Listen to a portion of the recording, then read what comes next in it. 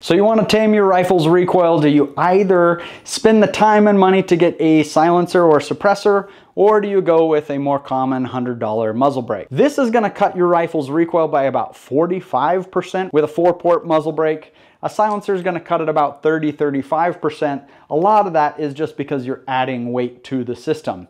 The biggest difference though is this isn't going to make new shooters obtain a flinch because it makes the gun quieter.